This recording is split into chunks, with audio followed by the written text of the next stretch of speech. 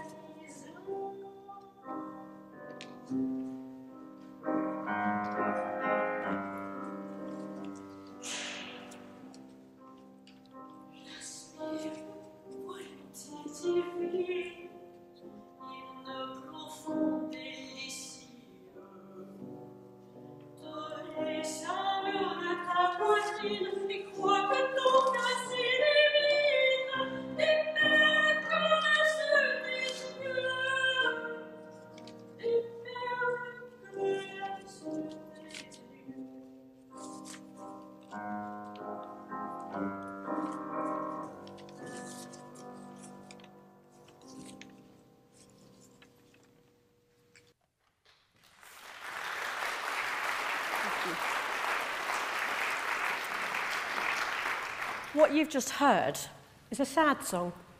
A woman is sobbing and tearful, and the man tells her he loves her anyway, perhaps all the more so because she's sad. It was three verses taken from a much longer poem, set to music by a composer who loved the work of a major French poet, Charles Baudelaire, and fancied himself to be a bit of a poet as well. Maurice Rollinat was the 19th century version of a modern day goth, someone who finds beauty in things that others find really dark. The skulls and skeletons that almost always accompany images of Rolina give you a flavour of the kind of person he was. And as well as being a poet and a composer, he also sang and played the piano, often self-accompanying as he performed. He was a bit of a celebrity at the well-frequented cabaret venues across Paris in the late 1870s and early 1880s, including the Hydropaths Club, and the rather more well known Chat Noir Cabaret, a venue which, has la- uh, which lasted until the late 1890s, but which is immortalised through the famous Théophile Steinen posters, which I'm sure you've seen. But Rollinat himself is not much known today, forgotten in the mists of time, even in France. And maybe there's good reason for that. Maybe you thought the song you've just heard was maybe a bit naff. Maybe you just didn't like the performance. That's okay. In many ways, I'm sorry to have started today's recital on such a somber note, and with me singing rather than the headline act you've all come for. But there's a reason why I wanted to start with a sad song and to sing it myself, because it showcases how we can find ways to understand the songs we hear by being part of them ourselves. And it demonstrates how the kind of work we do in universities, especially in literature, modern languages, and music departments, is trying to understand the very common, often universal human phenomena that still elude our grasp. Why is it that we like to sing? Why is it that sad songs have such a universal resonance? Why is it that we often don't pay that much attention to the words we hear sung? What goes on in our minds when the words aren't even in a language we speak every day? And why does it matter who sings? Why does it matter what kind of music it is and where it is performed? Well, it's that little tight ball of knotty questions that I want to spend some time exploring with you today. And it's a huge honour to do that with such a stellar pair of performers, Mary Bevan and Joseph Middleton, of whom more in just a moment. Maybe you've come, chosen to come today because you like this kind of music. Most of you, if you're regulars here at the Barber Concert Series, will be classical music fans too, like I am. What we'll hear today are all broadly classical music examples, But I'd like you to keep in mind that this kind of music is not a niche that exists on its own, but part of a continuum of our universal experience of song across all kinds of music. Now, all the words that Mary's going to sing today are by the 19th century French poet Baudelaire. And if you're not a French speaker, you can follow the translations in the programme booklet. Or you might prefer to just absorb the music without really knowing what the words mean. But I want us to think about how The words are more than just those of a famous French poet who died 150 years ago, because they come from a universal impetus to share human experiences. They echo the words of older generations of poets, such as the English Romantics Shelley and Keats, who wrote countless odes to melancholy, as much as they also speak to the future, such as the Gothic rock subculture of the 1980s, spearheaded by Robert Smith and The Cure, but influenced by Leonard Cohen, Jim Morrison, and David Bowie. And why am I mentioning highbrow literary figures alongside giants of popular music? It's because they've got a lot more in common than we tend to think they do today. Someone like Baudelaire has inspired generations of musicians, songwriters, and composers to use his poetic imagination as a springboard for their own creations. And it's something we've been proving in a research project that I lead here at the University of Birmingham, the Baudelaire Song Project, for which we've gathered over a thousand songs of all types of musical genre, some of which directly set Baudelaire's words in French, some which cut the text, some which use a version of a Baudelaire poem but in translation, and some which are just loosely inspired by Baudelaire's words. So we kind of have to ask ourselves, do the words really matter? Or is it enough that we just get the idea that they're sad or upbeat or tell a love story or share a memory or a hope? What we know about poetry like Baudelaire's is that it can be the inspiration which unlocks a composer's voice.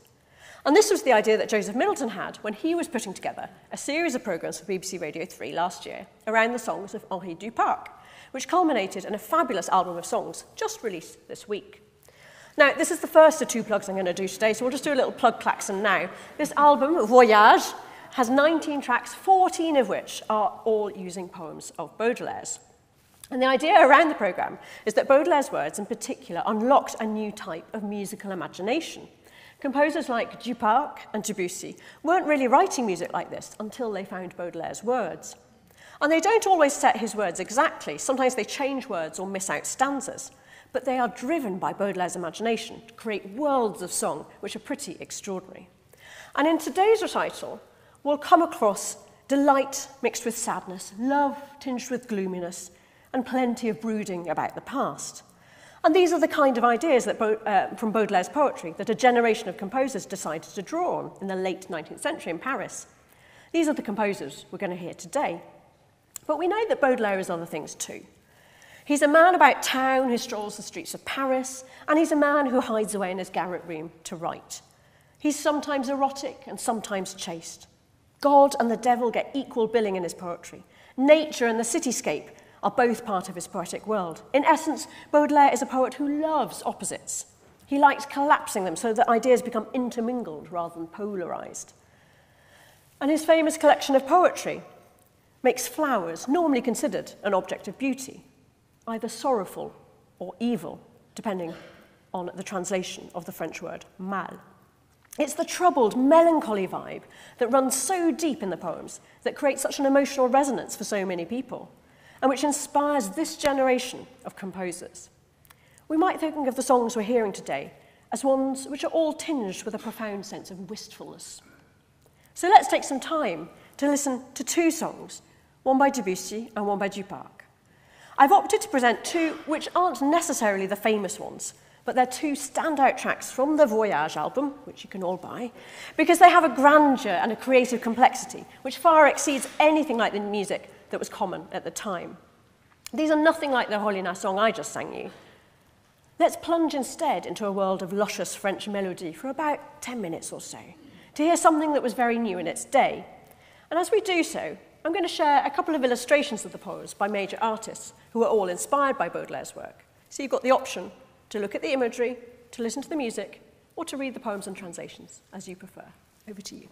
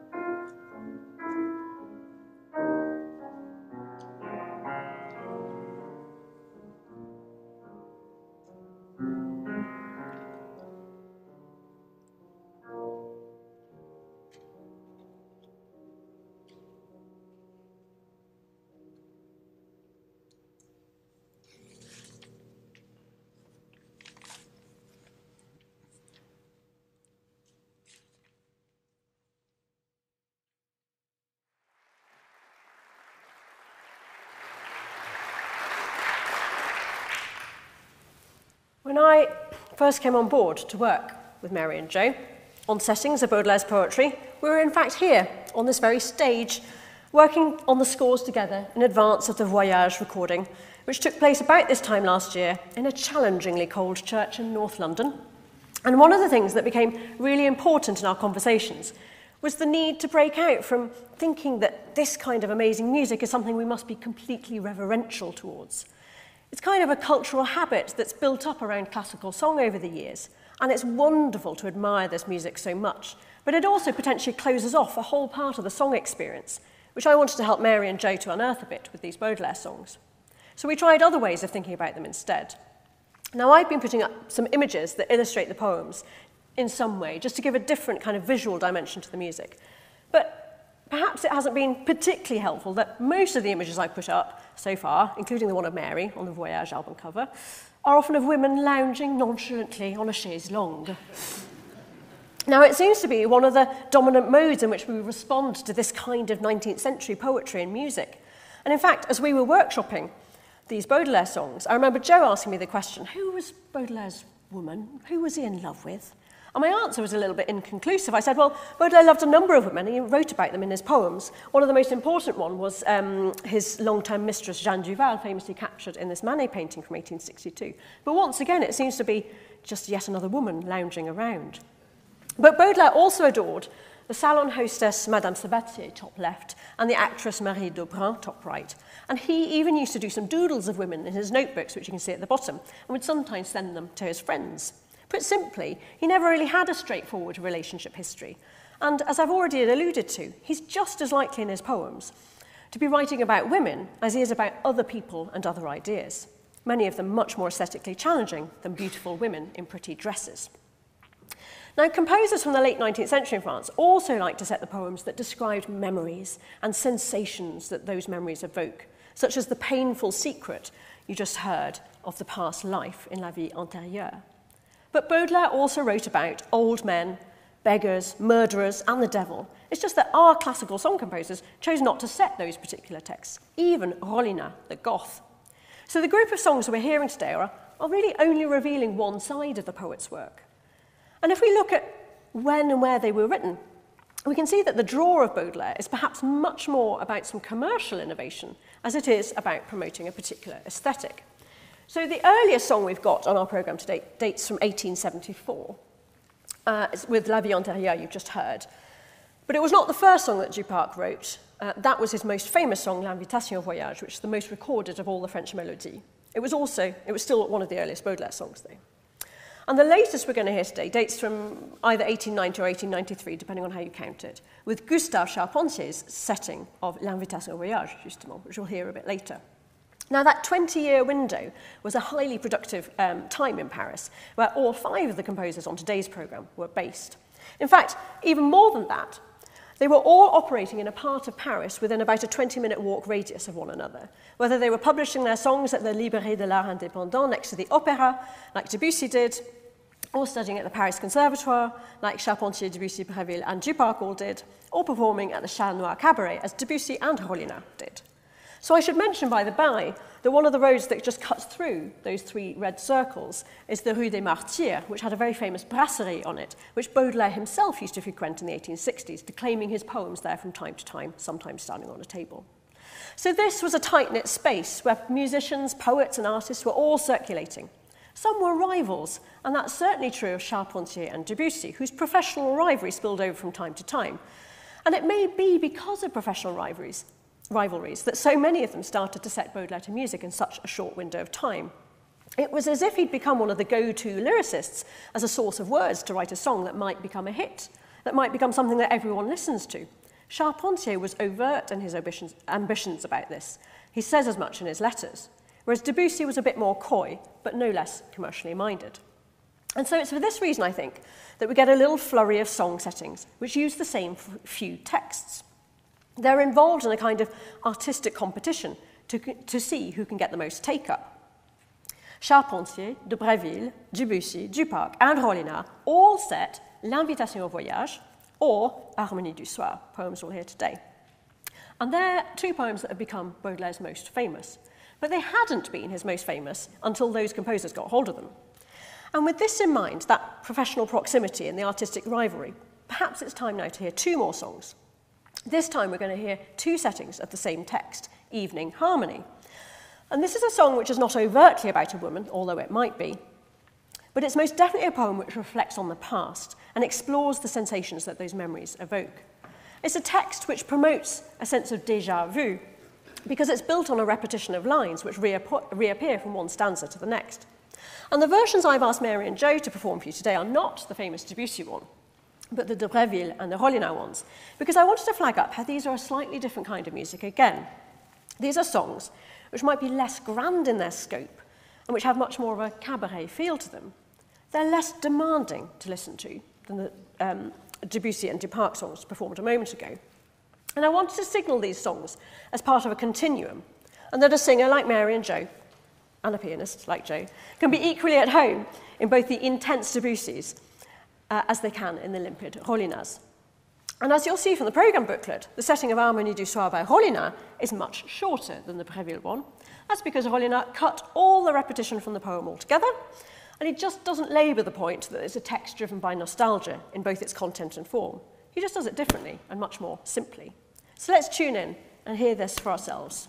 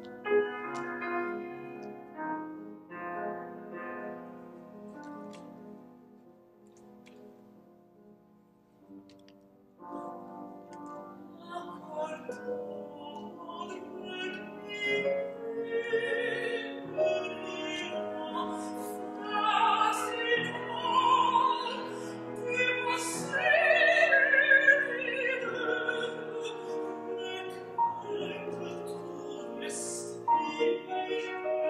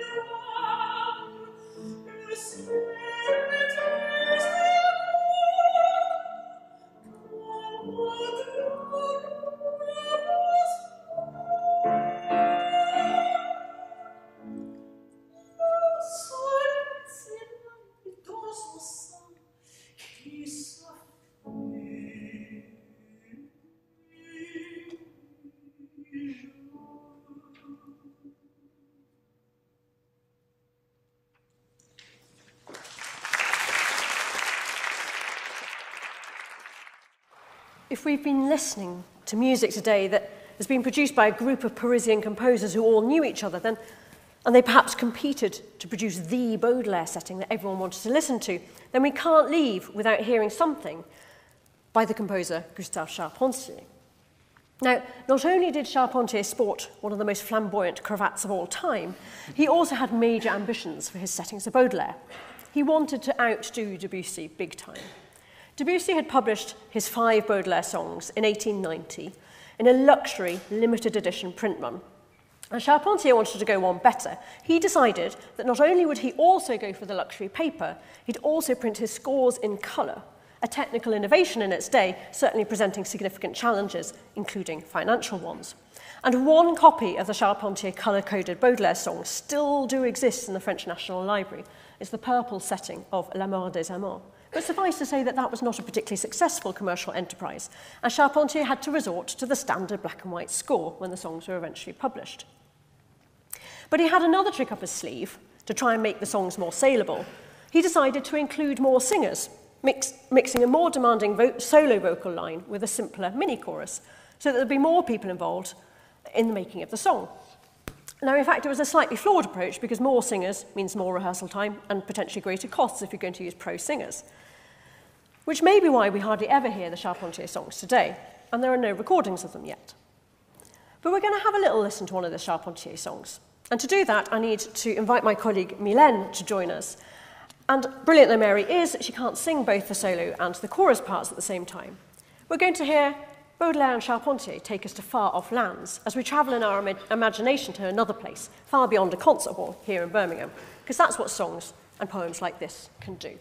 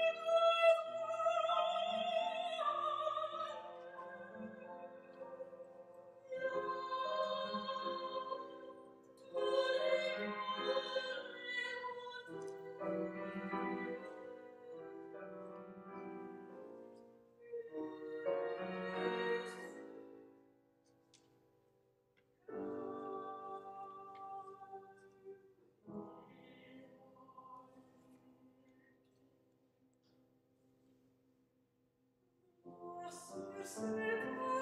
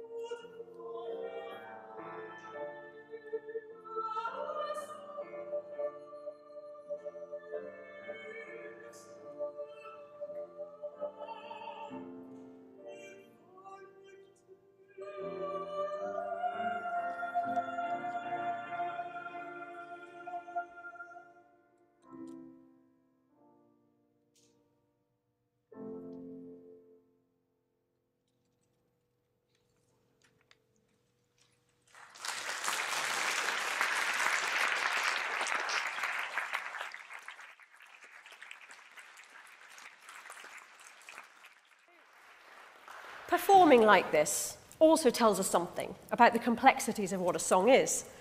And in the words of the famous song accompanist Graham Johnson, every song has come into being as a result of a compromise between the differing interests of words and music. And this liaison between a poet and musician is seldom conducted face to face. Indeed, it's a collaboration that often happens across the centuries. Now, the key words here are compromise and collaboration. This is what's happening every time a song is written whether or not the lyrics pre-exist. Songs are formed by a complex network of relationships between different language systems, that of words and that of music. And we're only just really beginning to scratch the surface of what's really going on within a song. Despite the fact that singing is one of the most fundamental human experiences, and despite the fact that we often associate songs with key emotions, like sad songs, such as the one I started today's lecture recital with our understanding of the universal phenomenon of song is actually still pretty poor. Even when we say there's compromise and collaboration, we don't necessarily fully understand what that means. It can be compromise and collaboration at the point of composition or at the point of performance. And sometimes it's a combination of both aspects, because song is a live performance genre that doesn't just exist on the page, whether it's scribbled lyrics or set notes or a fully edited musical score. It exists in multiple ways in the world, each time it gets sung, played and heard. What Mary and Joe have been performing for you today are new versions, fundamentally, of the songs that they've recorded on the album. But even that is a culmination of weeks of rehearsal, multiple takes, and post-reduction, uh, post-recording production processes, which involve many more collaborators and a few compromises along the way. And that is, of course, a positive thing. But if we're going to get any closer to understanding what's really going on in amongst all of this, we need a way to properly examine all of the inputs that go into making a song. And before we round off today, I just want to give you a flavour of what I do as a university researcher interested in songs, in how different languages impact the universality of the song experience, and in the capacity of the human voice more broadly. Now, I've developed a new model for analysing song, which uses a digital approach. It's enabling us to see a much larger quantity of data and provides much more detail than we've ever had before. I've tested the model on about 50 songs so far, so certainly not all of the Baudelaire songs we've got by any means. But it shows us fairly conclusively that there is no one way which is guaranteed to combine words and music successfully. Across all of the elements and inputs that we can examine, there are different drivers and levers, depending on who's composing the song and who performs it. And up until now, researchers have had very limited ways to factor in the live aspects of song as a performance genre the fact that singers have to make a decision about where to breathe and how exactly they might pronounce a word. We can now examine all of that using both the score and the audio, or just one or the other, depending what formats the song comes to us in.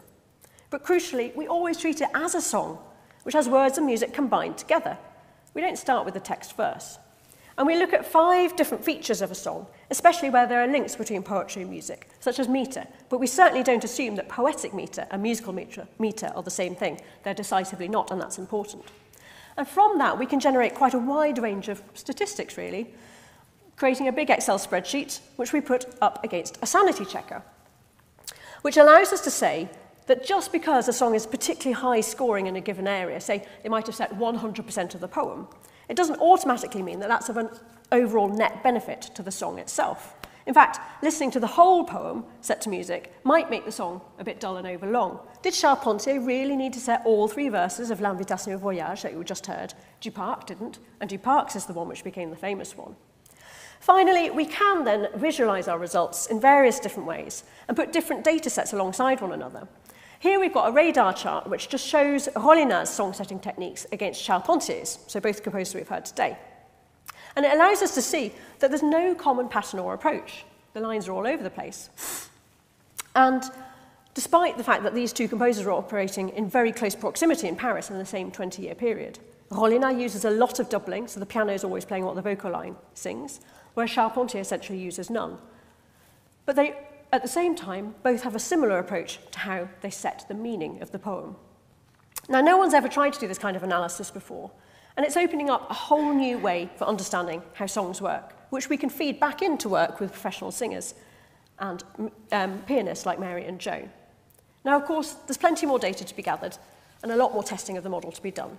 But the scale of this research is taking us down some quite exciting paths, which means we'll soon be better placed to actually know what's going on when we write or perform a song. And if I had to set out what I think the future of song research would be, it would be this. I think we need to be much less reverent about classical song and accept that it's part of a continuum which includes a whole range of musics. I think we need to be much less precious about how text is set to music. There are always going to be hesitations, repetitions or deviations. And we need to promote and probe that inherently universal human experience of song the language of the words and the lyrics matters, but to varying degrees depending on the context, and working with singers is an absolute must. We need to apply the most cutting edge techniques to song analysis that we can devise or find, and that will mean going more and more digital, but digital does not mean without human input. And finally, I think we need to improve access to song networks. There's no simple model of how words and music interact. Songs are complex and busy networks of interactions which push and pull in different directions, because songs are live and lived things.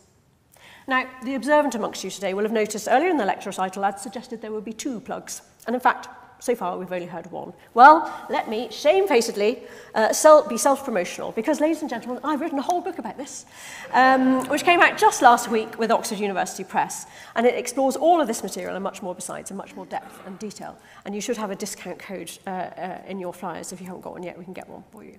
But it would be unfair of me, perhaps, to end today with such an overt plug.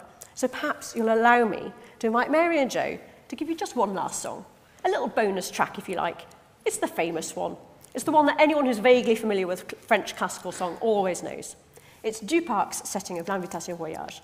And I hope this will send you off on your own journeys after this lecture recital, inspired, revived, and with all your desires fulfilled, to quote a line from Baudelaire himself.